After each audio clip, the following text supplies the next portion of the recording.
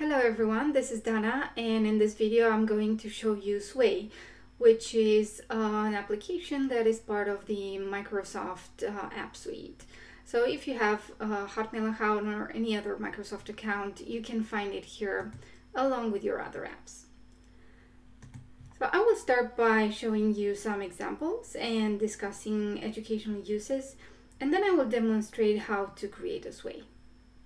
So Sway is basically a different way of presenting content. So you can have a web page or a presentation um, or a blog or a portfolio. Um, so let me show you some examples that I found interesting that kind of illustrate what Sway can do. So this, as you can see, is like um, a normal presentation. You have pictures and you move through the slides. It's just that it, it looks a little bit nicer than your usual PowerPoint. It has and it has um, this animation already built in. You, you don't need to edit it. So it also makes it a little bit easier for the user. Now another one that I liked here. So this is a teacher that made um, test revision. And uh, you can see this one has a slightly different format because you scroll down and Sway um, helpfully tells you what to do in case you don't know. You can also change the layout from here or turn on and off the animations if you don't like them. So it's um, a little bit more customizable by the audience, uh, which is quite interesting.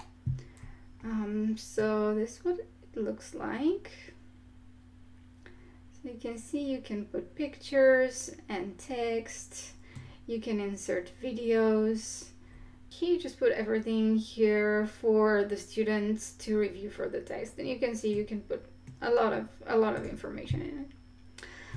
Let me show you another one. And this one is a newsletter. So that's another thing that you can make. And this is the Italian Embassy in Rosario.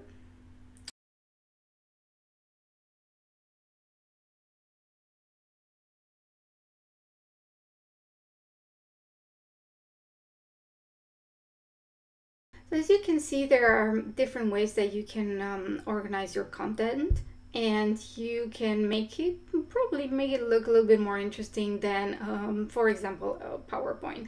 So I would say this is um, comparable to the tool that I reviewed a few days ago which was Adobe Spark. And I'm, I'm gonna talk a little bit about um, the differences between these uh, at the end. Uh, but yeah so a presentation tool the students can easily use it and just make uh, their simple presentations or more complicated presentations. And um, you don't really need to think about the design but you can. So one thing that I like about it is that you can customize it and I'll show you in a minute.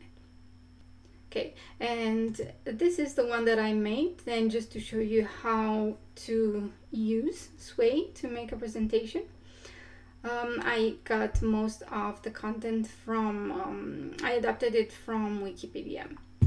So you can see have a title, background, image, and then text. Again, different images, text, diagrams,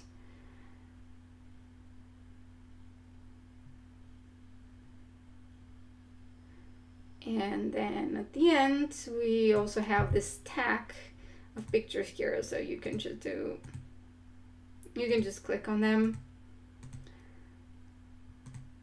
Or you can also just make them big and see them properly.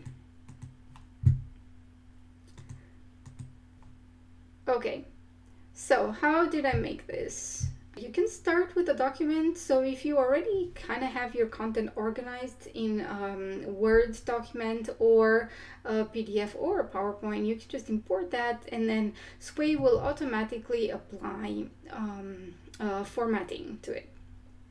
And it would apply the design. Uh, you can also start from a topic, so just write the topic and they'll think, okay, what kind of design would go well with this topic? And they will suggest a design for you. Um, you can create new, which is what I'm gonna do. Um, but you can also start from a template and you have blog, newsletters, portfolios. And what I like about this is that it gives you suggestions for the content as well. So for instance here, this is what it would look like. I have create interest. You want to write something here or put content that creates interest.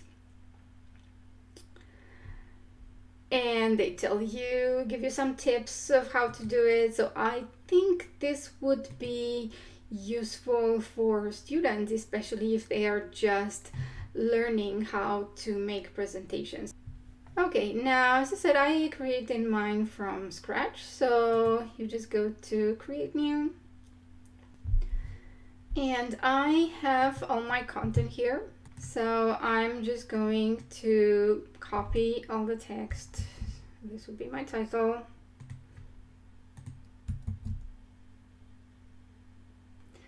And then I may want to choose a background for my title. And the nice thing is that Sway can suggest pictures for you based on your text. So let's say I go here and I chose one of these um, not sure where it is but let's say let's say it's this one it may be this one you can just select it and click add or you can just drag it.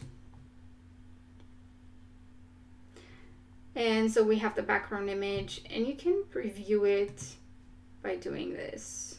As you can see, this one looks a bit different than mine because it just applied a different design, but we can change that later. Okay, next you can add more content by clicking here and I'm just gonna go and add more text. Um, you can add more content by going here to insert. Um, you can also click here and then it's going to show you all these things that you can add. So you can see you have text, headings, video, audio, you can embed something, you can add links, and so on. So I'm just going to add text. I'm just going to show you one paragraph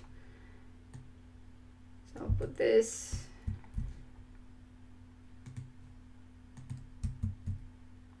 Okay maybe I wanted to do this one. Bullet points. Um, emphasize is bold and then accent is italics. Okay so I got this one done. I can preview it and it looks like this. Okay and this is how I made all the others and then I added just an extra image. Let's say I want to add some fruit. And just look for it. And of course you can also upload from your computer.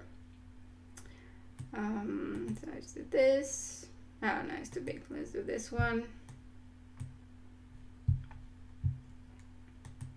Okay and now my picture looks like this. Um, the way that your pictures look will depend on the design that you choose. Okay, and then let me just show you how I made the stack. If you remember, I have the stack here at the end.